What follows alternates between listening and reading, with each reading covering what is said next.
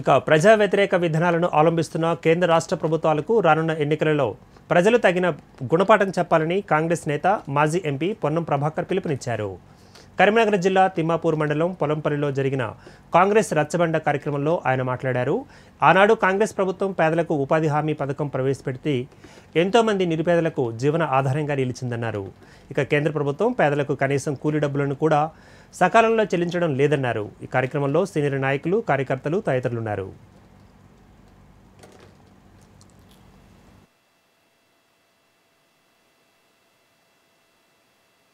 మర్చిపోతామా అని అడుగుతాను ఇవాళ ఫీ రియంబర్స్మెంట్ మన కుటుంబాల పిల్లలకు ఉపయోగపడలేదా?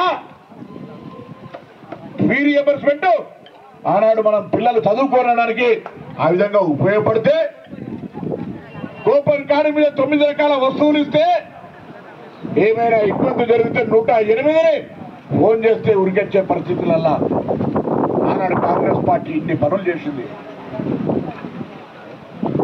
అంతేందుకు?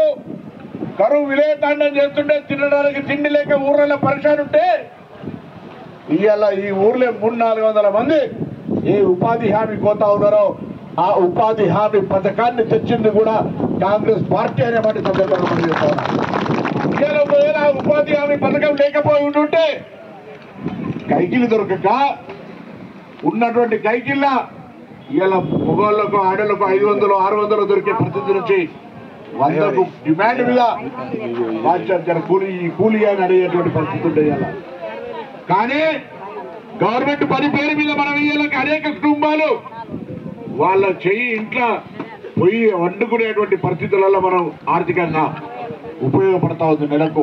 సంవత్సరానికి వంద రోజులు నూట యాభై రోజులు. ఎండాకాలంలో చేస్తే రూపాయికి దాని అదనంగా ఎండాకాలం ఛార్జీలు ఇచ్చి ఆ విధంగా నిబంధనలతోటి ఇవాళ ఉపాధి హామీ కార్యక్రమం తీసుకున్నాం. డబుల్ బెడ్రూమ్ ఇస్తా అన్నాడు. ఎనిమిది సంవత్సరాల ఈ పోలంపల్లి లాంటి గ్రామానికి ఎన్ని డబుల్ బెడ్రూమ్లు వచ్చినాయని అడుగుతాను ఈ సందర్భంగా వచ్చినాయమ్మా డబుల్ బెడ్రూమ్లు?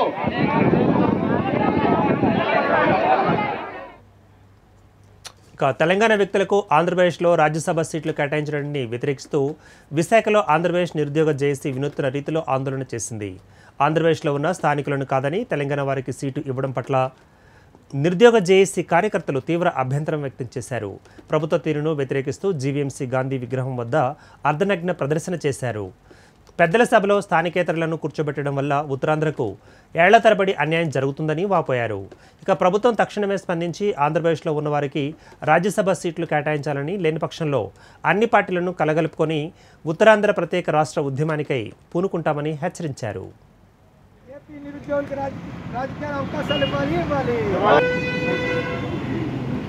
తెలంగాణ వాళ్ళకు రాజ్యసభ ఇవ్వద్దు.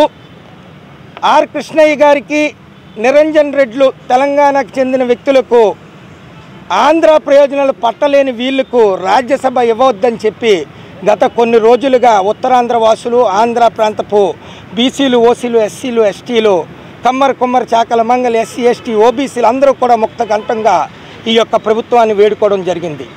రాజకీయ పార్టీలందరినీ కూడా మద్దతిచ్చి ఆంధ్ర రాష్ట్ర ప్రయోజనాల గురించి పనిచేస్తున్నటువంటి ఆంధ్రులకు అతి ముఖ్యంగా ఉత్తరాంధ్రులకు రాజ్యసభకు పంపించమని వేడుకోవడం జరిగింది.